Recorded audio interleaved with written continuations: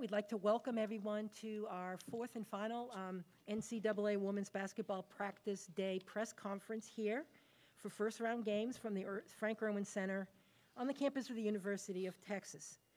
I'm your press conference moderator, Barb Koval, and I'm happy to be joined by Fairfield University head coach Joe Frager and graduate guard Rachel Hakes and senior forward Lou Lopez Senechal.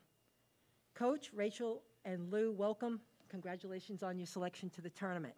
Just a few quick notes for those people who are with us in attendance.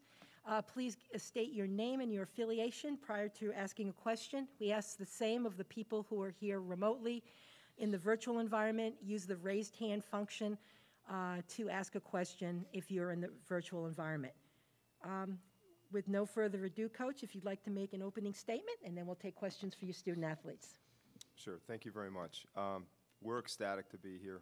Um, I know that during the selection show, and we saw that we were uh, playing uh, Texas, we were all very excited. Austin's a, a beautiful, beautiful city. Um, the weather's warmer than it is in Connecticut, and we know that Texas has got an outstanding program. So we're just really looking forward to the challenge. We've had a, a really, really special season. We've had a great group on this team, great leadership to my right and throughout the program, and a senior-laden team. So uh, we're excited to, to tee it up and, and challenge ourselves tomorrow night. Thank you, Coach. We'll uh, start with a question over here from uh, Dan- Danielle Lerner. She is with the Houston Chronicle. Hi, for both of you guys, uh, if you would, you know, Texas is obviously on a, a huge win streak, but so are you. Do you think that um, that's going to kind of make it a battle of these two teams that are, are hot right now? Yeah, I'm sure it's it's gonna be a great game. I mean, you know, we're both in the in the NCAA tournament, and I think it's um, both of us are gonna be very excited to compete. And for us, it's it's our first time, so uh, for sure not gonna leave anything. We're gonna leave everything on the court and not have any regrets. So it's I think it's it's gonna be a great game. Yeah, I think we're just super excited for the matchup. Um, I mean, we watched Ch- Texas go on their hot winning streak, and we've had one of ours. So we're just trying to look to continue our own special season as long as we possibly can. And I know for this guy right here, it's it's his kind of swan song as well. Does that make it more special for you guys, or are you trying not to think about that at this point? I mean, obviously we don't we don't want anything to end, uh, but I think that we've had such a special season so far that we're gonna, as Rachel said, we want to keep it going as far as we can. Yeah, I mean, coach obviously means a lot to us, um, and we've kind of been playing this season for him, and um, in a lot of ways, we're playing it for ourselves too, because we do have a senior laden crew who's been together for the past four years. So um, we're just looking to continue as far as we can. And as a reminder for the media in attendance, if you could address questions to the student athletes first, and then, uh, then we'll follow up with questions for Coach later. Next question from Danny Davis of the Austin American Statesman.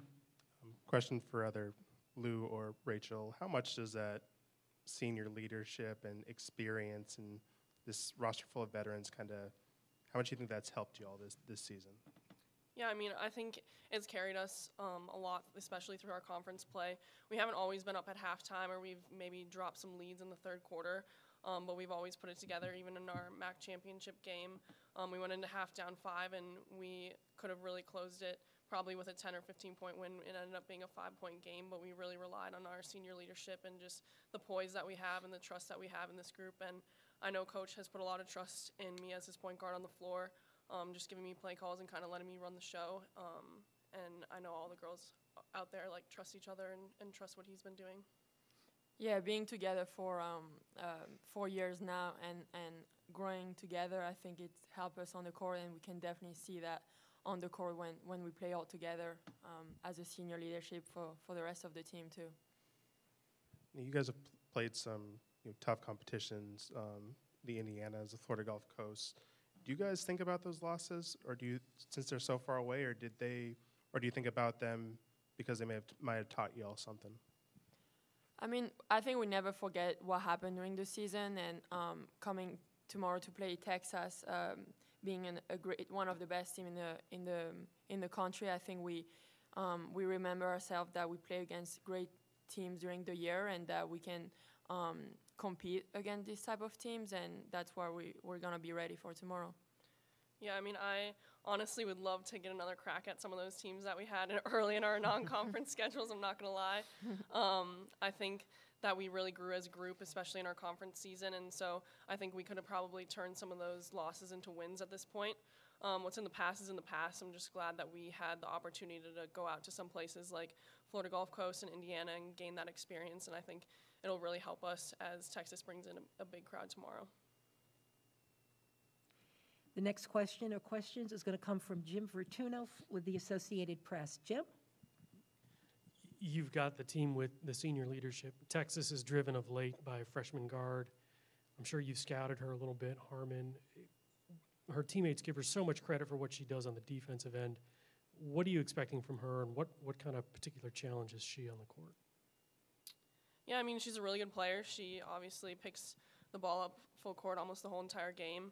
Um, honestly, we're a little bit more focused on what we're going to do, um, our own offensive and defensive game plan, and um, a lot of kudos to Texas and what they can do, but we're kind of just trying to stay in our own bubble and really focus on what we're going to bring to the game. Yeah, like she said, she's she's a great point guard and a great player. But um, I think what's really important is to mostly focus on us and, and what we can do out there as a team, and um, we're gonna do that.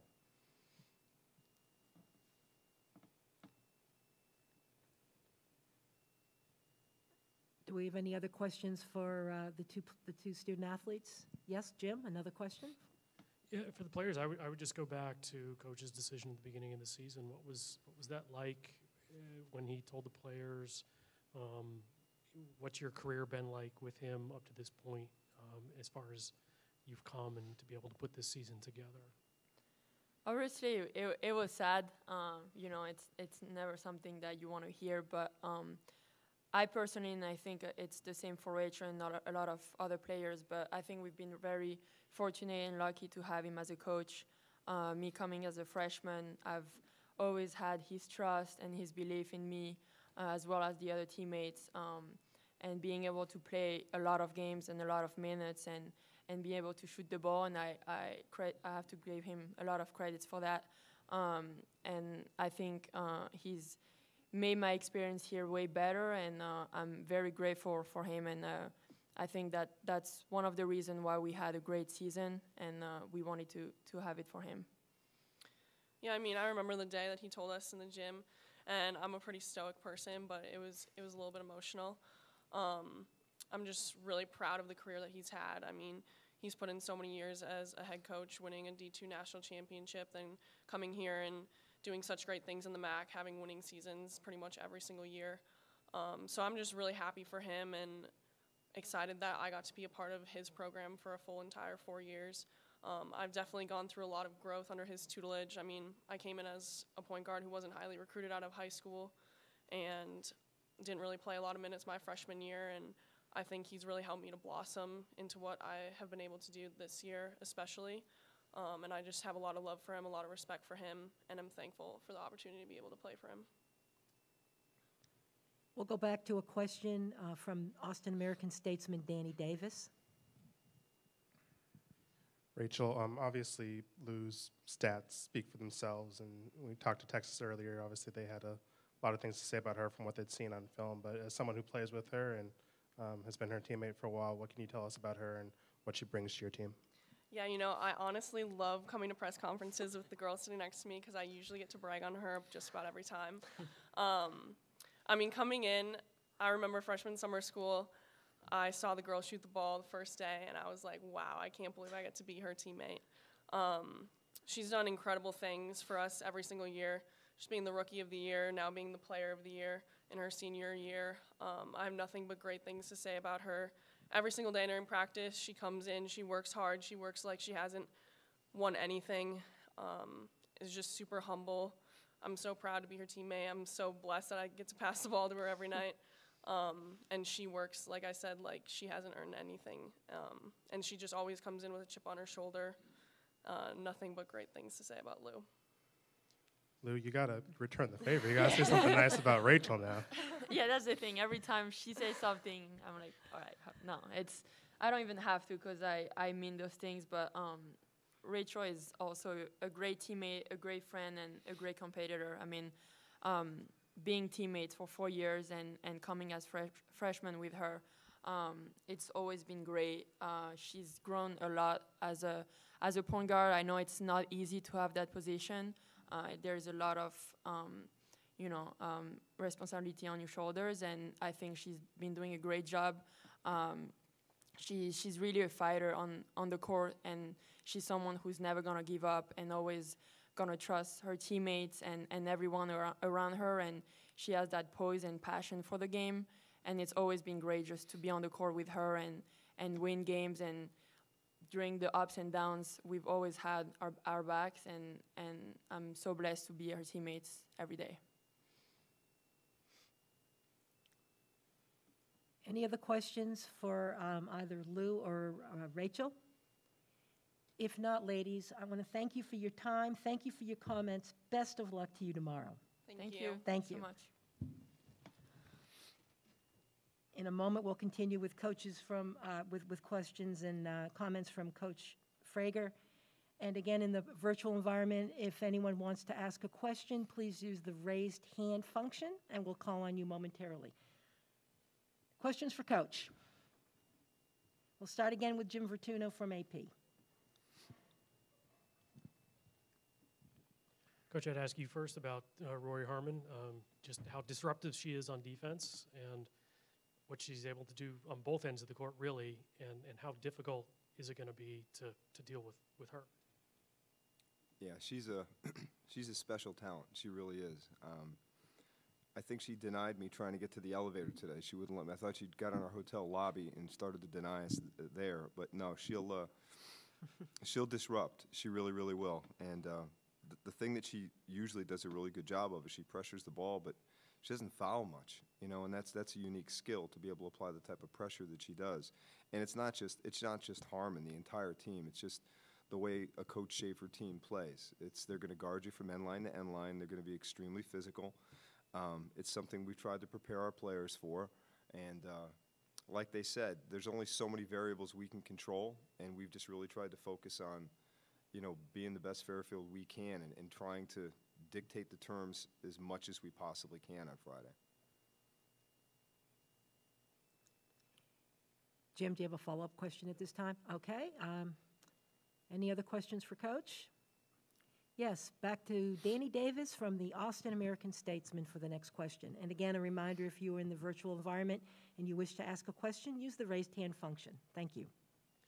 Joe, what is the mentality you feel from your team? Do you feel that they're happy to be here? Do you feel that they're we have something to prove? And what, what kind of mentality do you, do you see from your players? Well, I mean, they're obviously excited to be here. Um, I think they're realistic about the challenge that we face. I mean, we know how good Texas is, um, but you know, we didn't work all season long. We didn't practice all season long, just to come down and you know, just to be happy to be here. To be honest, um, you know, they want to win, and and they know that the task is a monumental one, but. Uh, I'm really confident they're going to come out and, and, and do the very best that they can. You know, we've we've got to take care of the basketball. We've got to do the best we can and try to gang rebound and not let Texas beat us up on the boards.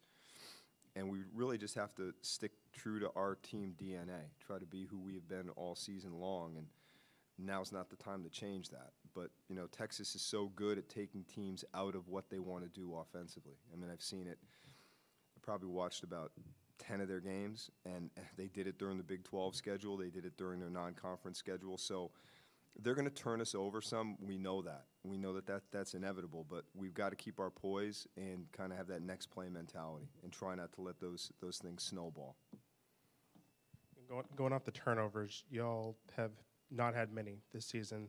Is that more a function of the defenses you've been facing? Is that more a function of Rachel just being a veteran point guard and knowing how to run an offense? What would you kind of attribute the lack of turnovers to? Yeah, I have to give Rachel a lot of credit. I think a lot of it goes to Rachel. A lot of it goes to our style of play. Um, you know, and and and uh, you know, we face some teams that, that that like to press and be very aggressive and be very physical. We face some of those teams. Uh, I think Texas is clearly going to be the best of those at, playing that type of basketball. So that's why it's going to be a huge challenge for us. But I think it's attributable to our style of play and the fact that we have seniors, and, and Rachel really is an extension of the coaching staff on the floor, knowing where we want to go with the basketball. And we really try to pride ourselves on, on uh, trying to get the ball to players where they can do something good and, and take advantage of their skill set. So hopefully we can uh, do that more often uh, than not on Friday. Um, aside from Rori, is there another player or something that really stands out about this Texas team when you when you look at the film? Yeah, I mean, uh, uh, Ebo is, is a concern. Uh, they're all a concern, really. I mean, uh, you know, Allen-Taylor, uh, uh, but but Ebo's physicality inside is, is is a real concern. You know, um, she's really really improved during during her career so far, and you know, she's very very strong inside, very physical. Um, you know, in particular, I was looking at their Iowa State game, and in the second half of that game, they really made a concerted effort to start going inside uh, against Iowa State, and it really, I think, started to turn the tide of the game a little bit at that point. So, um, yeah, there's probably not a player on the floor that they put out there that doesn't concern me, but uh, yeah, she she stands out. Any other questions for Coach? Uh, We'll come back to Jim Vertuno, AP.